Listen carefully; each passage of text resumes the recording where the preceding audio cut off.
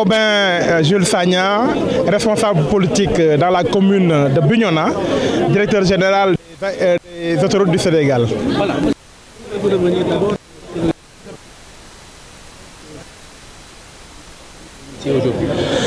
Les objectifs ils sont très simples, ils sont très clairs.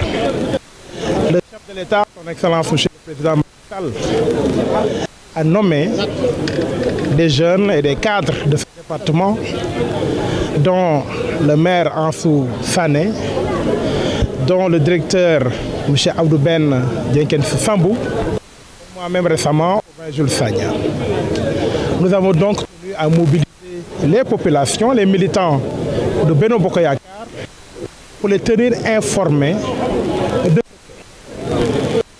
Mais euh, cette réunion a été l'occasion aussi de prendre en charge les véritables préoccupations des populations qui sont des préoccupations d'ordre politique. Nul n'ignore que ce département a besoin d'un nouveau souffle politique. Et les populations ont besoin d'un signal fort que le chef de l'État a donné et que nous avons compris. Il s'agit, ce signal, de le faire entendre partout, de le faire résonner partout dans ce département. Responsables politiques. Nous devons prendre le taureau par les cornes. Il ne s'agit pas de nos personnes. Il s'agit de faire élire le candidat désigné par le chef de l'État, M. Amadouba.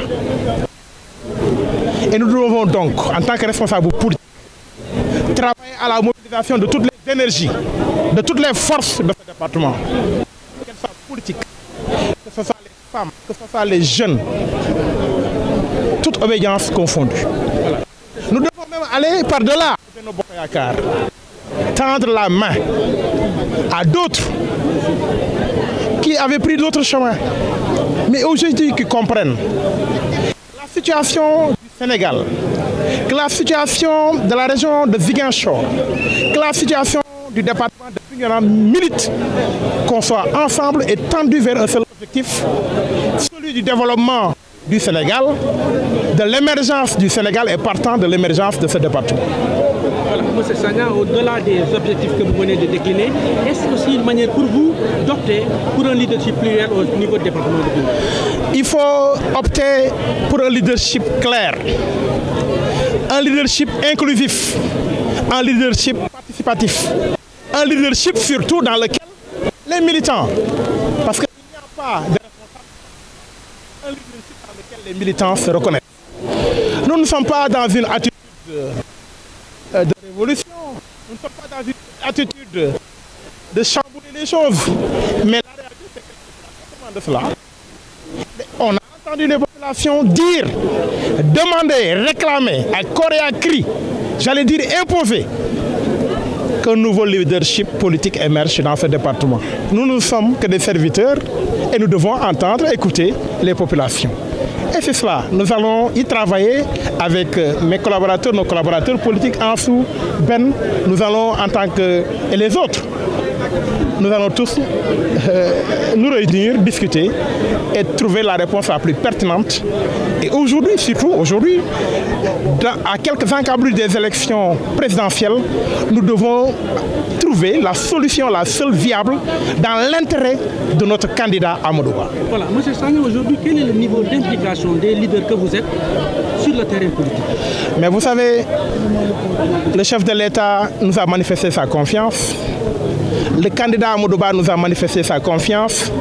Les populations nous ont manifesté et réitéré leur confiance. Notre niveau d'engagement politique n'a de limite que le département de Bignona. Nous serons partout.